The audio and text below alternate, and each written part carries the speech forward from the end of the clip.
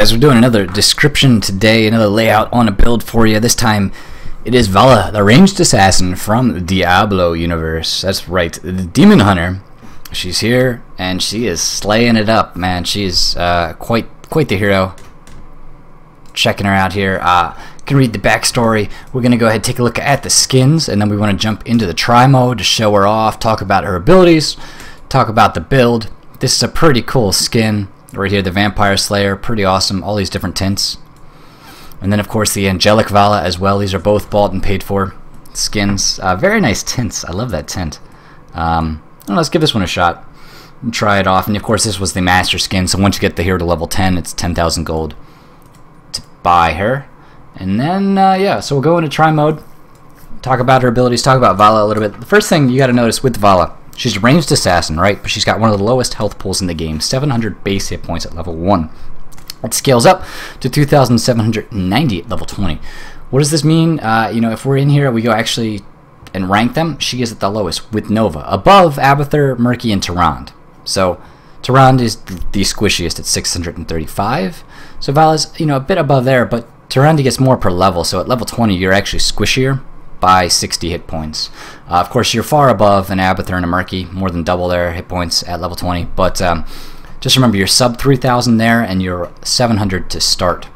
Um, now, you can check her out here. She's really, really awesome looking. You know, we will run around uh, and then even do like a little dance animation. And talking about uh, health regen is going to be low. Men is the same across all heroes, so no differences there. Uh, now, if we do look at damage to start, her base damage is pretty low. It's 28 per auto attack, but she's got a very fast attack speed. Uh, and it's going to scale up at 9 per level, so you'll be at 199 at level 20. Um, now, that is still on the low end of things. You've got, you know, of course, uh, well, I mean, it's, it's this top half, but, you know, Azeratul, by comparison, would have 294 damage at level 20. So she's at 199. Uh, it's, it's fairly low. And we take a look actually at the character select screen here, and you can see her attacks per second 1.67. She attacks like a boss. And, uh, you know, it's really the strength. She also, well, let's talk about her trait now. We haven't talked about that. That actually kind of factors into this. Her trait is hatred. Basic attacks grant a stack of hatred. You can have 10 of these at once, so they scale up over time, each attack giving you one. Each hatred stack increases basic attack damage by 2% and move speed by 1%. So she gets faster, up to 10% faster, and she'll get she'll hit harder, up to 20%. Okay, so you take we'll round up to 200 on level 20, right? From 199, we'll round up to 200. 200, 20% of that. What's 10% is 20, right? So that's 40. 240. That's extra damage per attack, and she's still attacking insanely, insanely fast. If we um, just to give you an idea of this, we're going to roll out here into the middle of the lane against the minions and just show you this trait in in action. A little bit of a delay there in the try mode, interesting enough. Hmm. Alright.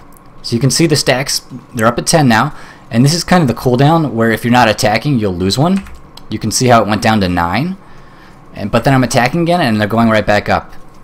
And this is, she's, that damage adds up. Look how fast Arthas is going down here. Okay, and that's even without using an ability. So let's talk about those abilities. As she taunts us. Okay, so Q is a skill shot in a sense. It's a hungering arrow. Cooldown of 14 seconds and mana cost of 60. It fires an arrow that deals 81 damage.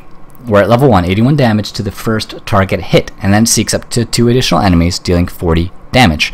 You can hit multi same enemy multiple times. So you can get three hits out of this. It's just the second two do half damage. Uh, now that's going to be, at level 20, it's going to be 366 damage on the first target, 183 on the second two. So if you hit one enemy three times, or you hit, uh, you know, three different enemies, you're doing over 700 damage. You know, it's um, 732 damage if you land all, you know, if you land the skill shot. Now it does fire in a line like this, uh, but you don't have to like it has to be within like range of the enemy. It doesn't have to be spot on hitting them. It's it's kind of not like the hardest skill shot to hit, and we'll show it off in a second. We'll, show them all off together. Um, w is a cone shot like this, like a skill shot right here. It's called multi-shot. Cooldown shorter at 80, I mean 8, 8 seconds.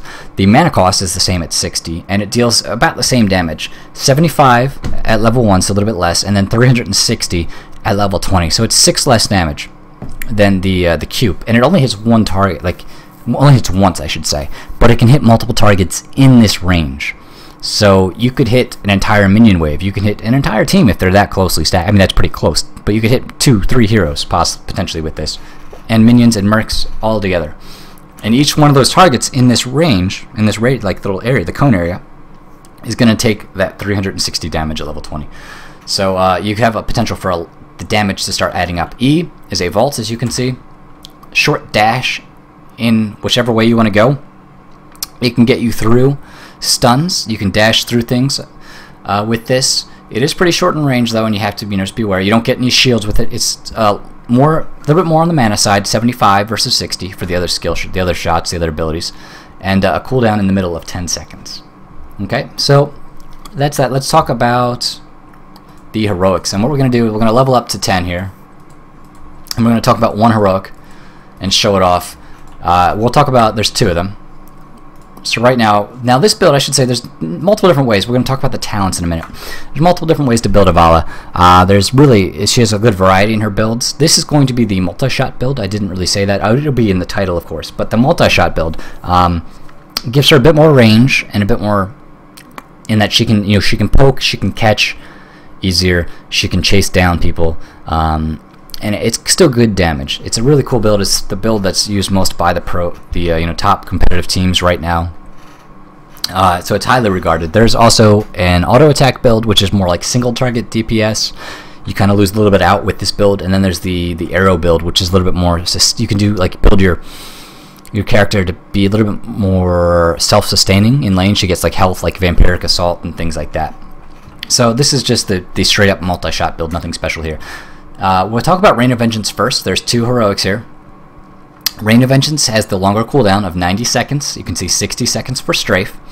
And the mana cost is actually going to be larger. It's 100 for Rain and only 80 for a strafe. So let's go ahead and select Rain of Vengeance. You can see it's it's a, uh, a skill shot in the sense that you have to place it down on the map like this. We'll place it down, and you can see one and then two. Each of those little waves is a wave of Shadow Beasts, as it says here. You'll launch two waves and they deal 330 each to enemies within that area, and it stuns for 0.5 seconds. Now, this is 330 at level 10, so at level 20, each wave will do 560. The advantage to this heroic is that you I cast it as you saw, and I can do it again. Once I've cast it, I can move away. It is down, it is out, it's good to go. It cannot be interrupted. Uh, the other heroic, as we'll show you, is channeled. It's a strafe and it does damage in a large arc, but it does it can do potentially more damage in good hands.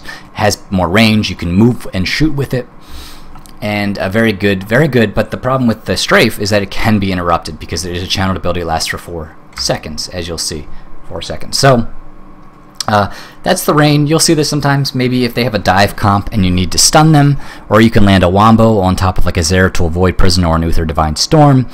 You know, this can be very useful. Uh, now, uh, I've also seen it used like with the Gazlowe wombo combo with the um, the grav bomb to, to great effect. Now, that's the benefit of the rain, right? It cannot be interrupted. It gets that little bit of stun in there. It's good against people who are in your face or going to interrupt your strafe.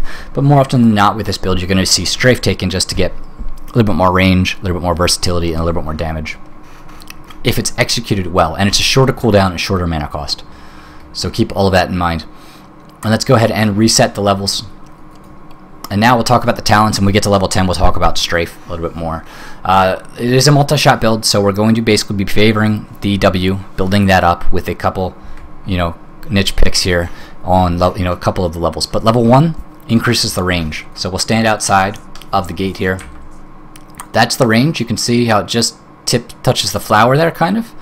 If I take the up range upgrade, it's now all the way over here. So it went from like where the cursor is now like where the edge of the green on the cursor is, to the full extent. You get that much more range. Um, you can poke, like if you're trying to delay someone from channeling a tribute, you can hit from farther away, or a Dragon Knight. If you want to get a whole minion wave, it's a little bit easier. You can engage in team fights from farther away, and you can potentially catch more heroes, more minions, more mercenaries in that extended area. Level 4 is going to be another W upgrade, the Arsenal.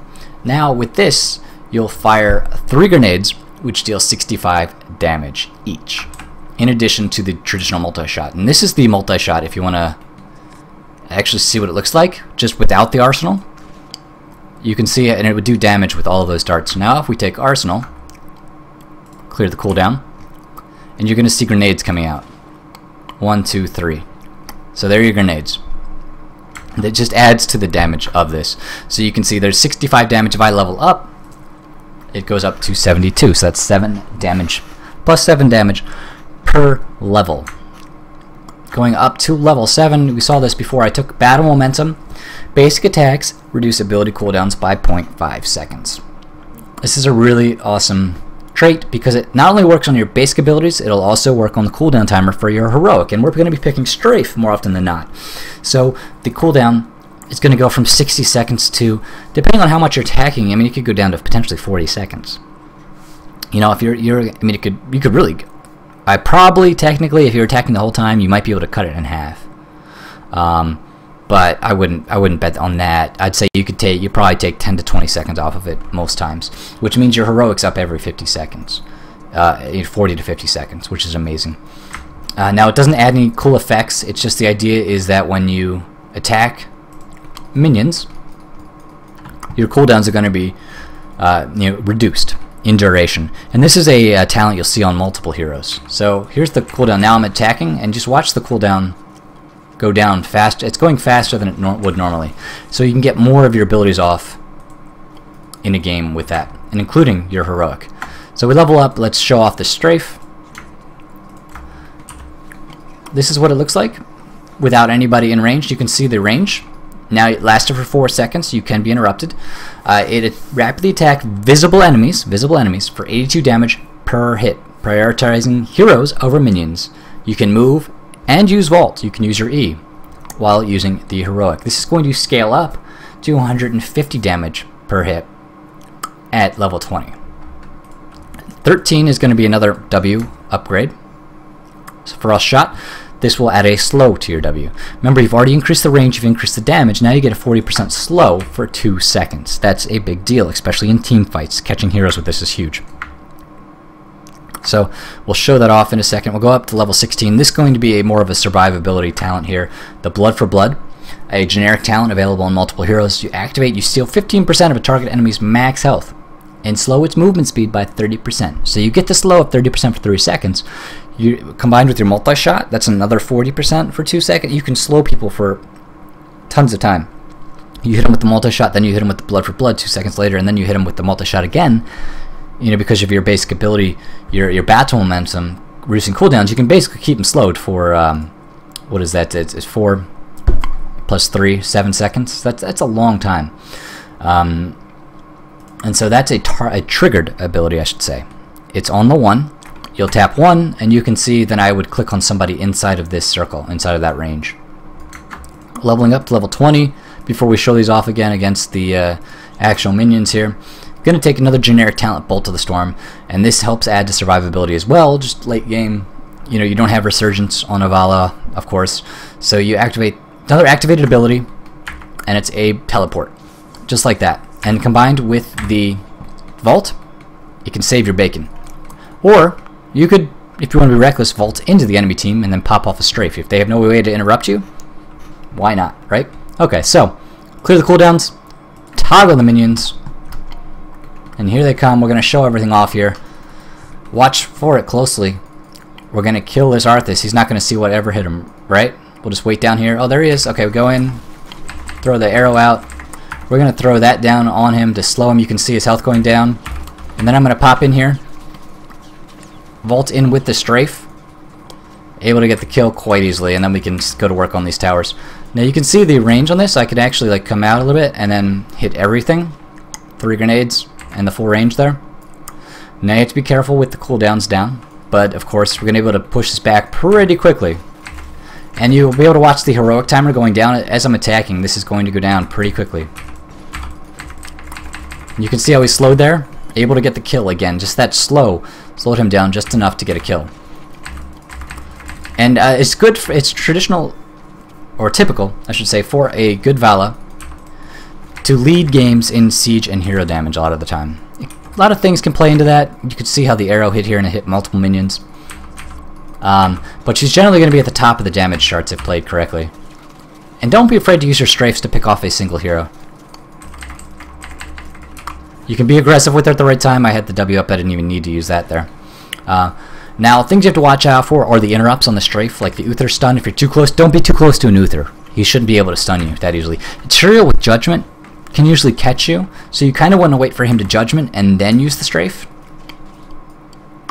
Boom. So you can see how it hits, even if it's not spot on. If you don't place it correctly all the time, you can still usually get a hit with it. It's not the hardest skill shot in the game to hit. It's pretty easy, actually. Um, and you can attack walls to reduce cooldowns even further. Remember, it's just basic attacks. You don't have to be hitting a hero or a minion with them. So yeah, uh, the Uther Stun, just good positioning, stay high and dry, as I call it. If this is my tank, I want to kind of be this side of him. Now, now I could go ahead and engage on the fort, right? But in a team fight, if I'm behind my tank, it's going to be hard for somebody to stun me as long as I stay back here. So, you know, just good positioning will keep you alive, and it's going to allow you to get the full use, the full duration out of your strafe. Now, Arthas doesn't have any, any way to, to stop me. He can root me, but I can dodge that pretty easily with the Vault and with the Blink. You should be able to dodge a root to keep the strafe going. And you can see just she does a ton of damage. I mean, I'm already up here just playing around a little bit. Um, so we'll go ahead and check her out in an actual game setting. She is a lot of fun to use. She's only 2,000 gold. She's got some cool skins. I definitely recommend her for anyone, even if you're brand new to Heroes and the MOBA. Uh, just just be careful. Be, have good positioning. Don't be too aggressive. She's squishy, and she can be interrupted. And if she's focused, she'll she'll fold like paper mache. You know, she'll just crumble rather. Um, so do be careful. Have good positioning, but she's a lot of fun to use. Alright guys, thanks for watching, and uh, it's going to do it for this part of the, uh, the Valla tutorial here.